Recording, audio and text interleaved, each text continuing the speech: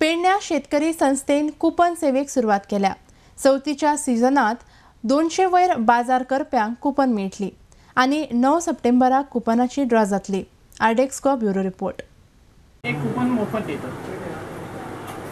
त्यामुळे पन्नास हजार कुपन्स आम्ही प्रिंट करतो आणि त्या आकड्यावरून एक कोटी हा आकडा मी आज मुद्दाम सांगू इच्छितो.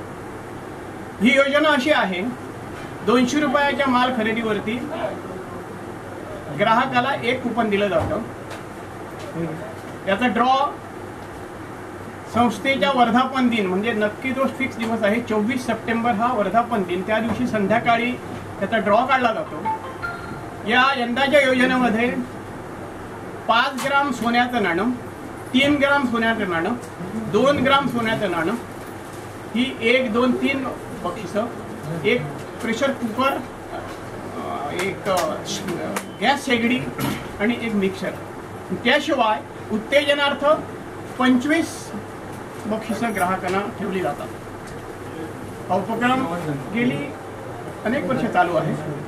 आणि त्याच्यातला भाग आज हा इथे कार्यक्रम संपन्न होतो आहे. वीस पंचवीस वर्षात या संस्थेने जी प्रगती केली मुद्दाम उल्लेख करेन श्री मिलिंद केरकरांचा यांच्या अध्यक्षतेखाली जी काही प्रगती या संस्थेने केलेली आहे व त्यांचे संचालक मंडळ त्यांना जी काही मदत करते ती वाखण्याजोगी आहे. कारण आपण आज जर संपूर्ण गोव्यात एक नजर टाकली जो काही सहकार क्षेत्रात गोंधळ माजला किंवा चालू आहे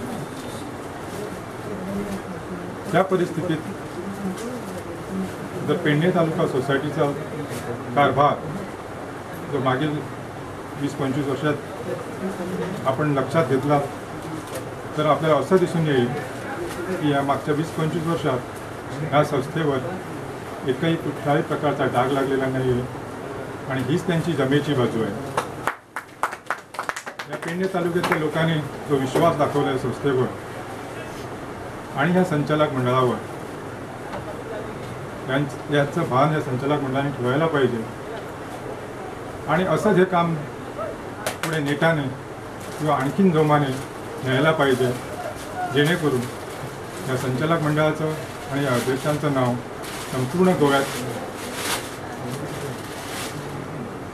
संपूर्ण गोव्यात एक मानाचं स्थान तुम्हाला मिळेल. याची तुम्ही आठवण ठेवावी. आणि हे काम असंच जोमाने पुढे न्यावं असे मला वाटतं.